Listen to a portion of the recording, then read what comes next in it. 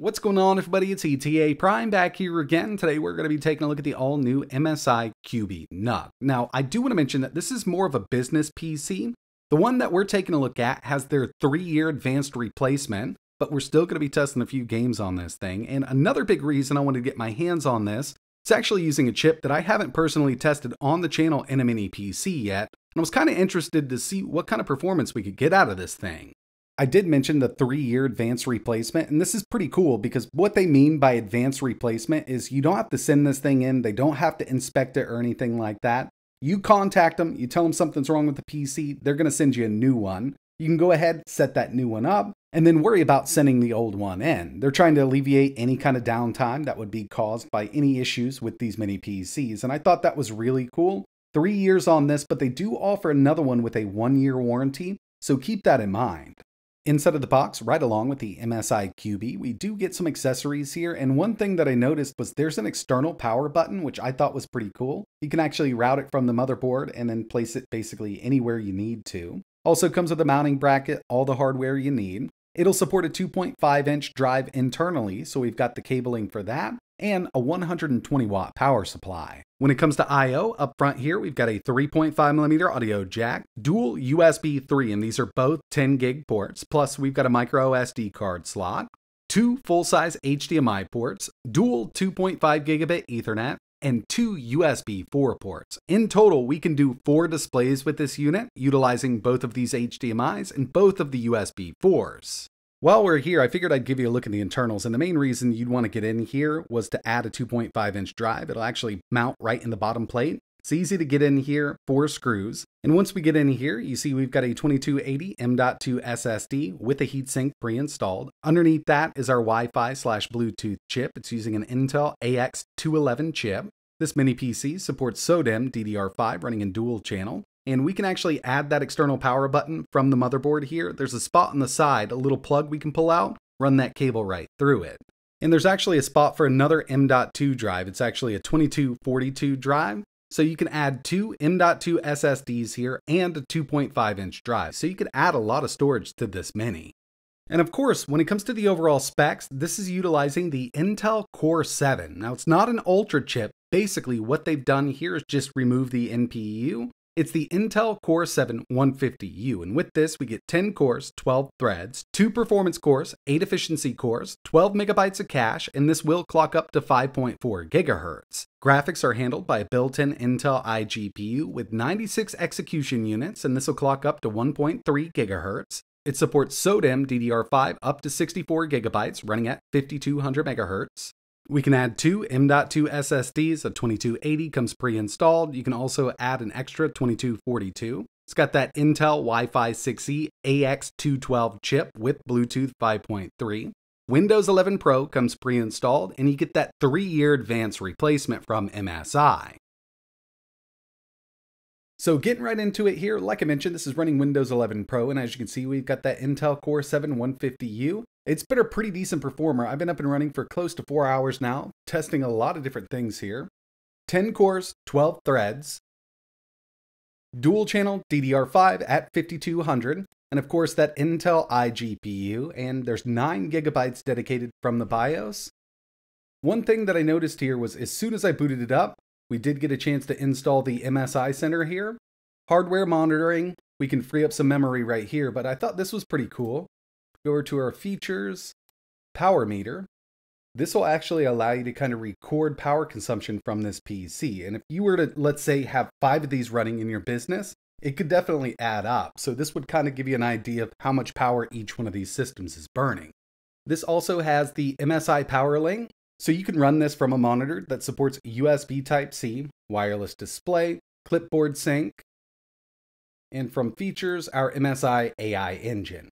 I've got this off, I'm gonna go ahead and turn it on, and basically it's gonna optimize performance for whatever task you're doing at any given time. So I'm gonna leave that on through all of my testing, and I've already run some benchmarks on this machine, but I did wanna go through a little bit of web browsing and some video playback here. So we head over to MSI's website, really quick. I'm actually connected over Wi-Fi right now, but remember we've got dual 2.5 gigabit Ethernet. Everything loads up without a hitch here. From products, just set up Windows 11 over here. It's going to bring us over to a new website. yeah, I mean, really snappy little setup here. Next thing I wanted to take a look at was just some video playback from YouTube. And we'll go with this one right here. So 4K 60 HDR. Make sure we're at a true 4K here. We'll full screen it and, oh, I've already got Stats for Nerds on. We'll just let it play through. And I've always had really good luck with these core chips uh, running 4K. Even lower end chips do a really great job with 4K playback from the web or natively. Up in the top left hand corner, we do have stats for nerds going. And on the initial load in, we had three drop frames, but throughout, it's not going to drop anymore. And I've seen this quite a few times. If I went back, let it buffer a second, change that resolution, going into it, we wouldn't get any kind of drop frames. But yeah, for 4K video playback, whether you want to stream it, play it natively from the internal storage, or run it from an external storage drive, this is going to handle it just fine. Next thing I wanted to take a look at were some benchmarks, and I put this up against the Core Ultra 7 165H. Now that Core Ultra 7 has uh, 16 cores and 22 threads, so in multi-core with Geekbench 6 here, it did beat it out. But as you can see, single core performance with this 150U is coming in higher. And we're going to kind of see this across the board. So with Cinebench R23, single core, 1,880 on this 150U, and multi coming in at 9,565. Again, that 165H has 16 cores and 22 threads as opposed to the 10 cores and 12 threads of the 150U. I also just went ahead and ran PC Mark 10. We got a total score of 4,426 here. And finally, I did run a GPU benchmark. We've got 3D Mark Night Raid coming in with the 16,698. And keep in mind, this iGPU only clocks up to 1.3 gigahertz. It's got 96 execution units, so it's very similar to something like the Iris GPU, just with a bit of a lower clock. Those usually went up to 1.5, I think 1.65 on the higher end chips. Now, this thing is not advertised as a gaming PC whatsoever, but it doesn't mean we can't get some gaming out of the way on this. It's not going to run something like Cyberpunk 2077 at 1080 over 60. I'd say 900p, you could probably break 30 with it. But for easier to run games, this little iGPU can definitely handle them. A lot of the indie stuff, here we have Hades 2, 60 FPS, and I am at 1080 high with this one. I also went through and tested some of my favorite older games, like Dirt 3. I still go back to this, and yeah, I said it was an older one, uh, but we're over 100 FPS, ultra settings, 1080p, and this is still a lot of fun. I just love coming back to this one.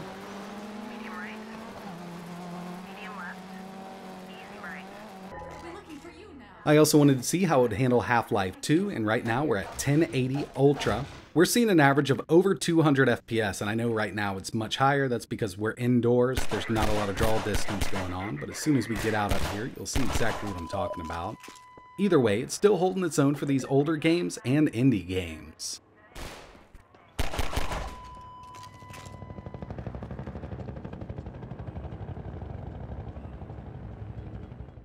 Another thing I always like to test with these mini PCs is total system power consumption from the wall, and this could be really important for people lining up a bunch of these in their business. So what I use is a kilowatt meter plugged into the wall, and I am using the MSI AI engine, so that is on from software.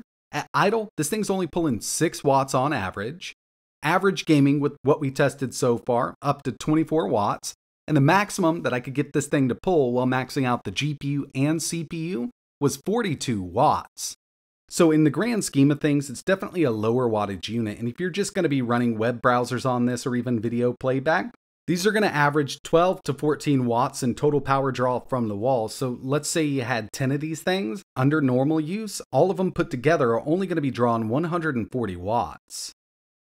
So yeah, I mean, with everything that's going on here, this thing's been performing really well as an everyday desktop PC. You want to do some spreadsheets on this, it's not going to be an issue. With a PC like this, given that they've got that three year warranty, you could set this up for signage, POS machine, and if you're a regular individual just looking to pick up a PC like this because of that warranty, and you know this thing's going to be staying on 24 hours a day, I think this would be a good choice as long as you know exactly what you're getting into.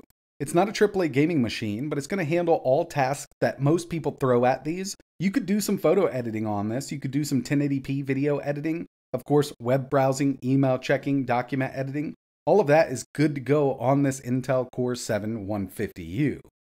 It really is a mini workhorse, and if you're interested in learning a little more about the MSI Cubi, I'll leave some links in the description. And keep in mind, they do sell one at a bit of a lower cost with a one year warranty, but that three year warranty is their no wait warranty. So if you've got any kind of issue with this, you contact them, they're going to go ahead and send one out immediately to you. That way, you can get the new one installed, set up, ready to go, and then you don't really have to worry about sending one in, waiting a few months for them to fix it or just replace it. They'll go ahead and ship a new one right out to you. You can send the old one back once you got everything installed.